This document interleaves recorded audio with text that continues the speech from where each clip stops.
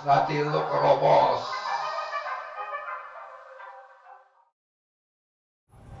Gimana? Bro, Hmm. eh, kalau menurut lu sendiri nih, eh, lu tau lah eh, sebuah konsep yang namanya abang-abangan. Tahu. Menurut lu abang-abangan sendiri itu gimana sih? Abang-abangan yang di mana dulu nih? Ya yang lu dari kata abang-abangan aja, konsep di, di kepala lu seperti apa sih sebenarnya? Kan sebenarnya kita sering ya menemukan abang-abangan gitu. Ada di kampus lah atau di mana gitu. Tapi mungkin kita pakai ruang lingkupnya abang-abangan di gerakan gitu. Kan mungkin karena eh, sehari-harinya ada di gerakan, di konsolidasi dan seterusnya lah. Jadi mungkin kita abang-abangan di dalam gerakan. Nah ini pandangan gue, ntar lu Ya. bisa ngasih pandangan lagi juga. Kalau gue mulai dari abang-abangan eh, lebih ke mendefinisikan dulu sih, baru nanti akhirnya apakah abang-abangan itu toksik atau enggak terhadap eh, gerakan atau satu kelompok itu. Oh, abang-abangan bisa toksik juga anjir. Bisa banget. Anjir. Bisa banget abang-abangan. Jadi kalau menurut gua abang-abangan tuh ada dua tipikalnya. Ada abang-abangan yang disebut abang-abangan eh, menanti atau abang-abangan ingin menarik royalti pengkaderan. Ayo. Pengkaderan ini dalam tanda kutip ya banyak cara dan lingkupnya gitu, nggak cuma pengkaderan dalam artian yang formal. Ada juga abang-abangan asuh eh, ketemu di jalan gitu. Abang-abangan itu di jalan. Ya, nah, gue mulai dari yang pertama nih, abang-abangan royalti pengkaderan. Nah, jadi ini umumnya tuh di organisasi yang siklusnya uh, berganti gitu, atau ada kaderisasinya. Jadi selalu nanti dia uh, ketika sudah habis gitu masa bakti dia di di lapangan gitu atau dia akhirnya udah ada di puncak tertingginya gitu atau mungkin dia udah nggak di situ dia akan menagih gitu atau dia akan menggunakan uh, adik-adikannya karena kita pakai abang-abangan untuk dia menggerakkan apa yang jadi pandangan si abang-abangan ini gitu. Jadi misalnya contoh uh, ada satu kasus lah kasus apa gitu misalnya langsung abang-abangan ini telepon gerakin masa dong buat ini gitu. Nah itu yang disebut royalti pengkaderan gitu karena si abang-abangan ini udah naruh banyak di organisasi itu gitu. Jadi sehingga dia uh, meminta lah. Nah yang kedua abang-abangan ketemu di tengah jalan abang asuh. Nah ini abang-abangan ini sebenarnya wataknya mirip sama elit parpol. Dia mengkooptasi satu kelompok yang besar gitu. Atau kadang dia bahkan menginfluence kelompok tersebut gitu. Jadi sehingga dianggap bahwa uh, di baliknya tuh abang ini gitu. Jadi itu biasanya uh, sering membentengi, sering membentengi kelompok itu atau akhirnya nanti bisa menetralisir narasinya atau akhirnya mengarahkan geraknya mau ke mana gitu. Jadi polanya sama gitu, cuma yang beda dari mana mereka berangkat ya gitu. Betul, Jadi betul. seringlah ditemukan itu. Jadi ada dua abang-abangan gitu. Jadi yang pertama abang-abangan royalti pengkaderan dan abang-abang ketemu Di uh, asu besar tadi. Masih Iya. di jalan ya. Iya, nah kalau ditanya sebenarnya toksik gak sih? Kalau menurut gue ya, abang-abangan ini toksik gitu. Karena, eh, bentar. Karena gue mikirnya akhirnya ya- yang dijadikan objeknya nih, adik-adikannya ini, nantinya dia bergerak selalu sesuai perintah dan arahan gitu.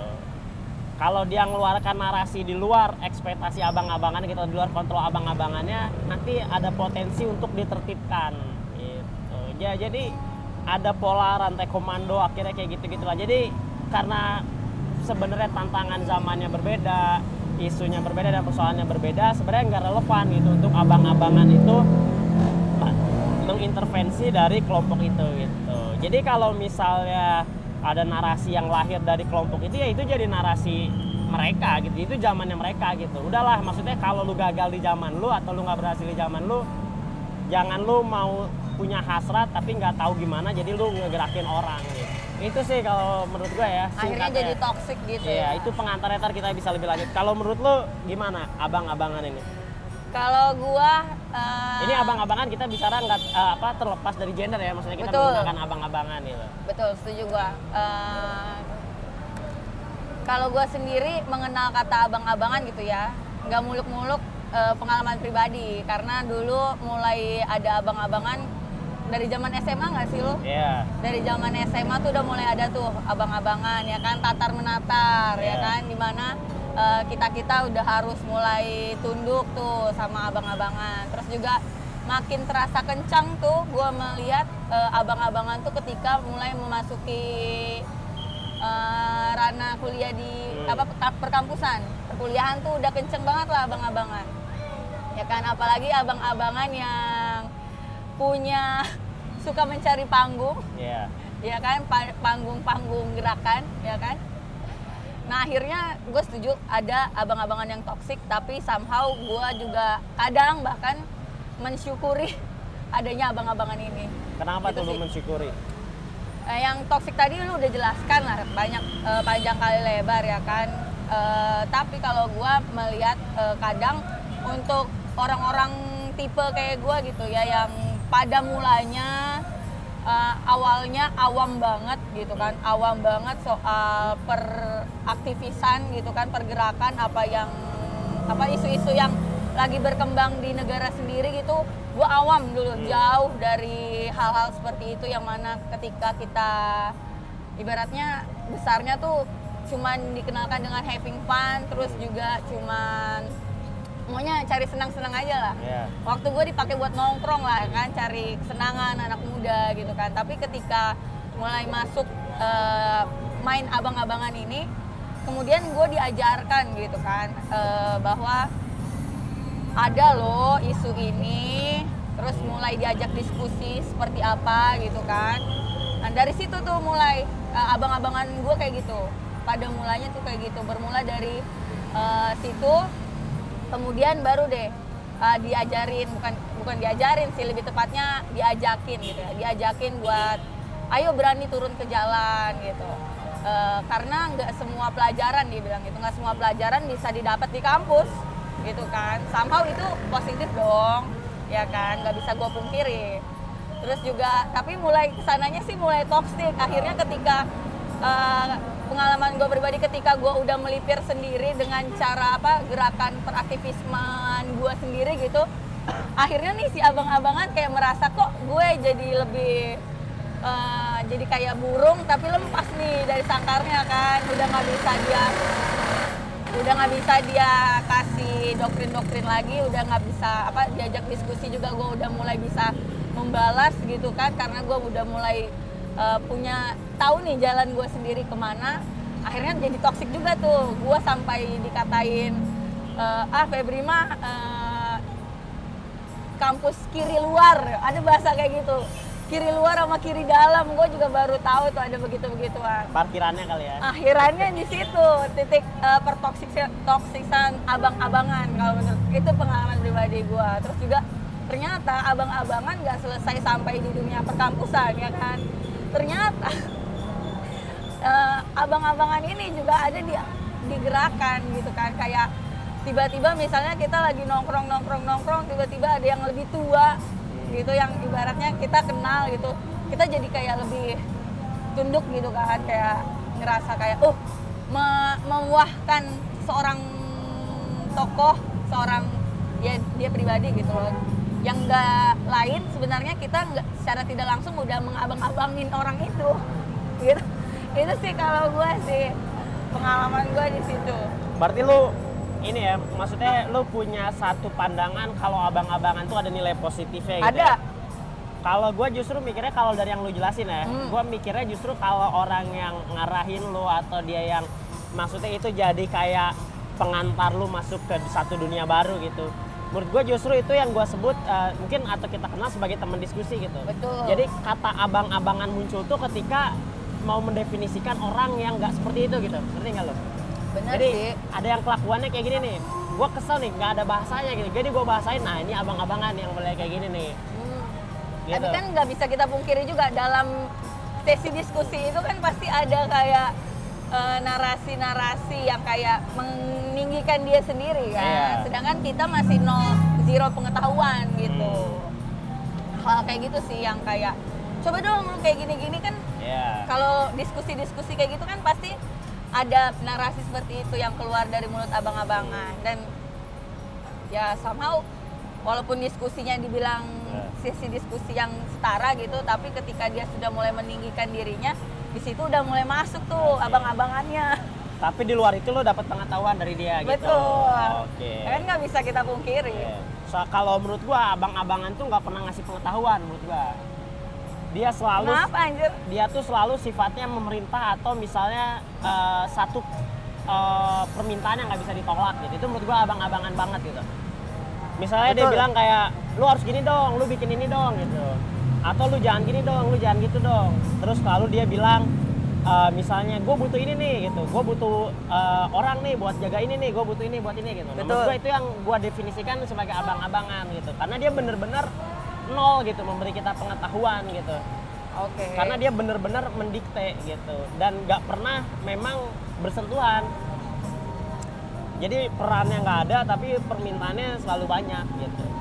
Lu punya Tapi pengalaman untuk itu untungnya gue jarang menemui Oh, orang jarang. seperti itu. tapi di sekeliling gue gue selalu orang apa ada aja orang-orang kayak gitu. Bet- Ya, ada sih benar Iya. orang-orang kayak gitu. Mana nih abang ya bang. Abang-abang? Jahe merah bang iya. Jahe merah. Haus haus. Tadi terlalu biar bersemangat hangat. Hangat. Ya. mana jahe merah? Nih kalau ini abang-abangan yang bener ini. Yang positif ya. Yang asli. Ini abang-abangan asli. Asli mana bang? Asli Garut. Abang-abangan Garut berarti. Tapi lu peng- pengalaman terburuk lu soal abang-abangan emang apaan sih? Pengalaman terburuk gue soal abang-abangan. Apa ya? Oh gue pernah berada di dalam suatu organisasi. Gak usah disebutkan lah ya. Kasih ya bang. Eh, itu sampai di titik akhirnya anak-anak kita anak maksudnya eh, anak-anak anak-anak gitu lah. Bah, sebut sebut saja kita kitanya gitu ya. Kita kita yang di dalam organisasi itu sampai benar-benar nggak bisa bergerak tanpa ada eh, persetujuan dari si abang-abangan ini Oke. Wah itu kan udah toxic banget sebenarnya ya kan. Sedangkan eh, kita misalnya udah capek-capek berpikir, berpikir, berpikir, tapi harus melewati satu orang ini yang kadang justru malah menggagalkan semua pemikiran anak-anak Iya. itu tuh rasanya kayak bang lu mau apa sih bang sebenarnya gitu. Itu sih pengalaman paling tai ya. Paling tai banget kayak gitu sih. Nah, Terus gue juga paling sebel gitu ya sama abang-abangan yang kadang meromantisasi gerakan zaman dahulu dia. Itu yang paling kadang gue sebelin. ini gitu. biasanya abang adul. Zaman abang dulu. ya. Iya. itu Ya. benar, benar. ya kan? Hmm. Bahasanya kayak gue dulu gue aja dulu kayak gini, ya kan? Masa lu pada nggak bisa A B C D E E? E? Itu kan E E E. Katanya. Itu. Itu abang tai juga sih kalau yang itu. Sampai gua kayak mikir ya di satu titik tuh sebenarnya justru abang-abangan LSM ini gitu atau abang-abangan di gerakan ini harusnya lebih banyak belajar sama abang-abang di STM gitu. Sulit Karena ya abang-abang LSM versus abang-abang STM. ya. Oke. Karena menurut gua abang-abang STM ini dia lebih eh, apa ya? Dia lebih menurunkan gitu ke juniornya gitu. Maksudnya ke ke angkatan-angkatan selanjutnya gitu. Soal bagaimana kulturnya, solidaritasnya gitu. Dan memang dia masih ada di lapangan gitu. Orangnya gitu. Betul. salah satu itu salah satu contoh positif dari abang-abangan STM sebenarnya yang Iya. bisa kita ambil adalah mereka punya basis yang kuat gitu ya, solidaritas yang kuat di antara apa gerakan apa masa mereka sendiri gitu Iya, kan. betul. Terus juga eh, satu sama lainnya punya ikatan yang erat gitu. Iya. Jadi nggak gampang ibaratnya disusupi oleh idealisme-idealisme dari luar. Iya. Itu kan sebenarnya hal positif juga dari abang-abangan STM. Sayangnya sih kalau abang-abang justru kadang gue menemukan abang-abang LSM ini malah jatuhnya kayak merendahkan. Iya. Betul betul. Selain merendahkan, gue suka ngelihat bahwa dia semacam menurunkan musuhnya gitu. Kalau menurut gue ya. Maksudnya menurunkan musuh gimana? Jadi dia ke adik-adiknya gitu. Misalnya dia punya satu musuh gitu. Entah itu eh, orang atau kelompok atau apa pun gitu. Itu dendamnya itu diturunkan ke adik-adiknya gitu.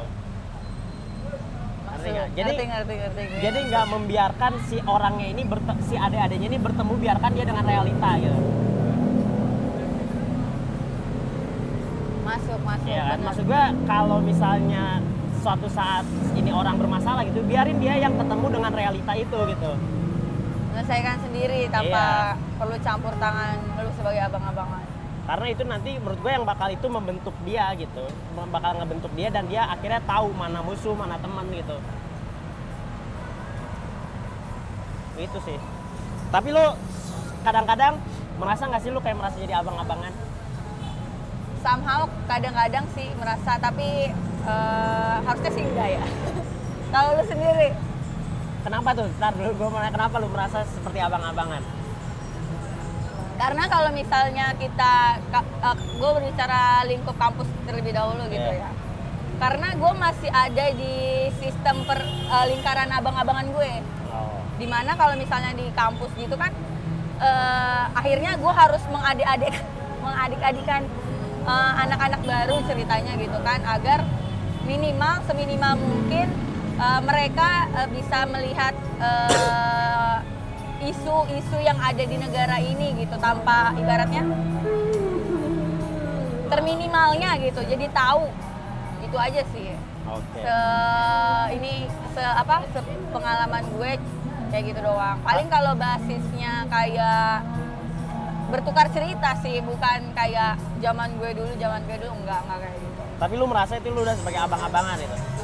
terlepas dari itu udah udah udah jadi abang-abangan Oke, oke. tapi sudah cukup lah abang-abangan kita semua sekarang main bareng aja lah ya nggak sih Iya. kayak kadang justru gue merasa abang-abangan ini kayak di lingkar gerakan itu merasa kayak ini tuh eh, sektor permainan gue lu anak baru gak usah so tau. Kadang kayak gitu. Kayak misalnya nih lu ada orang datang terus bilang weh kenalin nih.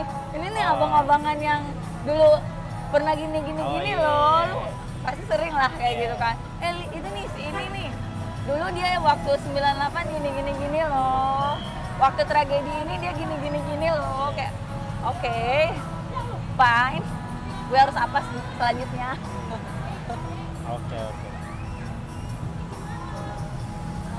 Jadi lu di satu titik merasa ya kadang-kadang ada seperti Betul. abang-abangan. betul nggak bisa dipungkiri karena eh, apa ya kalau merujuk sama sejarah kan abang-abangan juga udah dari dulu ada gitu apalagi orang-orang yang bergerak di aktivisme mereka rasanya punya pride tersendiri gitu Hmm. kalau si abang-abangan ini kayak dulu gue dulu gue nurunin Soeharto loh Hmm. Dulu kalau tanpa gue nggak ada reformasi kayak gitu gitu sih abang-abangan LSM Jadi dia Banyakan ini ya, ya. apa berceritakan jasanya dia dulu gitu. betul dan kadang jadi nggak relate gitu loh kondisi 98 tuh seperti apa kondisi di 2020 seka- eh, 2022 tuh sekarang seperti apa tuh kadang Hmm. mereka membicarakan yang jauh di belakang sedangkan 2022 tuh udah nggak kayak gitu loh. Yang Iya. kayak gitu sih kayak tantangannya tuh beda lagi loh. Dan pun a- eh, apa anak-anaknya gitu ya adik-adikannya juga nggak se seibaratnya se punya rasa aktivisme segede dulu gitu loh. Udah enak dengan perkembangan teknologi gitu. Sampai pernah loh ada yang nyinyirin sam- eh, nyinyirin kayak kok eh, sekarang aktivisme eh, mainnya di sosial media sih ya kan? Cuman nge-share nge-share kayak gitu emang bisa apa? Ya kayak gitu kan? Lu pasti sering lah ngedengar kayak gitu. Ah sekarang aktivismenya di sosial media doang di Instagram gitu kan di Twitter. Eh, sedangkan jalanan sepi yang kayak Iya. gitu-gitu. Itu tuh banyak yang ngomong kayak gitu tuh abang-abangan Padahal dulu kalau udah ada zaman sosial media, kayaknya Adian juga nggak bakal menyewa Kopaja mulu ya. betul Dia bakal sering lebih aktif di sosial media juga kali ya. tapi kan nggak bisa kita pungkiri sekarang peran sosial media tuh gede banget Iya. nggak nggak kayak omongan abang-abang yang malah menyepelekan sosial media justru kadang gue kenal sama lu mungkin awal mulanya dari sosial media Iya. kan itulah kekuatan sosial media tapi jangan lupa disandingkan dengan pertemuan-pertemuan secara langsung Betul. di ibaratnya diseimbangin lah Hmm. kayak gitu sih Nah, cara lu terlepas dari jerat abang-abangan ini gimana? Atau ketika dia datang lu kayak iya iya doang gitu atau gimana? sampai di tahap itu sih kalau misalnya ada abang-abangan datang iya iya doang kayak gue terlep, eh, terlepas dari abang-abangan kampus gitu ya karena gue eh, eh, menemukan abang-abangan yang lain di luar sana ya kan jadi ya kayak gitu lah. abang-abangan ini kadang saling memperebutkan adik-adikan Iya. Tuh. kalau dilihat ada nih adik, eh, orang yang berpotensi besar gitu yang dia lihat pasti langsung dideketin, didoktrin Iya. kayak gitu-gitu pasti selalu sih Betul betul betul. Ya begitulah Tapi ceritanya kalau gue mikir abang-abangan atau siapa yang bakal ngebantalin kelompok lu tuh bakal terlihat ketika lu ada masalah. betul Misalnya, nih, pernah punya pengalaman pribadi enggak sih, gue lebih mengamati. oh gitu. pengamat Iya. ceritanya ya pengamat gue lebih melihat misalnya nih lu coba aja maksudnya keluar dari narasi yang sering abang-abang lu sampaikan gitu atau lu coba satu ide yang di luar kontrol abang-abangan itu nah kalau misalnya ada satu saat itu ada yang bilang kayak misalnya eh ini kok gini sih? Gue banyak dicat orang nih. Lo gue kayak gini. Nah berarti ini dia yang suka ngejual kelompok kita ke orang-orang gitu. Berarti dia yang jadi abang-abangannya. Karena orang bisa tahu kalau mau nertipin kelompok ini gue kontak sini ah gitu. Oh ya betul betul betul. Gue mau ini wah ini kayaknya udah offset nih kelompok Febrina nih. Gue harus eh, nertipin Febrina ke siapa yang nyarinya gitu. Jadi abang-abangan tuh selalu punya garis tarikan gitu. Dan itu yang membuat gue eh, merasa terganggu gitu jadi setiap kelompok setiap gerakan selalu diafiliasikan oh ini tuh mainnya sama si ini loh ini tuh petanya ke sini gitu jadi selalu memapping peta-peta gerakan gitu Padahal ya memang ada satu kelompok yang natural, yang diskusinya ke sana sini, ke kelompok A, kelompok B, ke kelompok C gitu. Tapi selalu disimplifikasikan dia mainnya ke sini, abang-abangannya sini gitu. Itu sih yang bu- yang buat gua terganggu soal abang-abangan ya. Dia selalu memapping atau memeta-metakan tarikannya ke mana tarik. Jadi kadang analisisnya sering eh, apa Anabel gitu, analisis gembel gitu. Jadi analisisnya cocokologi gitu. Akhirnya jauh gitu dan akhirnya malah memecah kelompok tersebut gitu jadi malah drama di dalam lah Iya. Nah itu PR gerakan di Indonesia kalau menurut gua kadang eh, internalnya sendiri jadi kacau padahal secara tidak sadar yang mengacaukannya itu orang-orang di dalamnya abang-abangan ini yang kadang ya. Eh, misalnya nih eh, adik-adiknya mau terjang terus terjang tapi langsung abang-abangannya jangan! Abang-abangannya yang nahan ya kan? Padahal akan lebih baik sebenarnya kalau misalnya adik hasrat adik-adiknya masih mau terjang kenapa nggak abang-abangannya ikut terjang juga gitu kan? Jadi semuanya satu giliran entar misalnya tangkap polisi ya satu juga bareng-bareng gitu kan? Satu suara nah ini karena gue banyak mengenal atau mengetahui lu tuh concern di isu eh, gender gitu atau eh, membantu eh, advokasi kekerasan seksual gitu. Nah bahkan dalam kasus-kasus kekerasan seksual gitu abang-abang ditemukan gak sih? Kadang. Hmm. bukan kadang sih lebih tepatnya eh sering sih. Cuman kalau dalam isu kekerasan seksual eh, yang apa sih kadang si abang-abangan ini nih yang justru menghambat. Ya udahlah janganlah. Menghambat apa? Eh, progres advokasi KS-nya sendiri. Nah kadang juga ada beberapa eh, kelompok gitu ya yang malah jadi tunggu menunggu oke. Ya kan? Ini misalnya ada kasus KS ya kan? Untuk gerak aja butuh kayak eh, tunggu dulu nih biar si ini dulu tahu biar kita tahu nih langkah yang kita ambil tuh bener apa salah. Jangan-jangan nanti kalau misalnya kita ngambil langkah ini terus salah ntar kita yang kena. Nah ya kan? Dan mental per adik-adikannya juga jadi kayak ngikutin kan? Kayak "Eh, iya iya ya udah deh kita nunggu aja. Pada akhirnya menghambat lagi. Kayak gitu.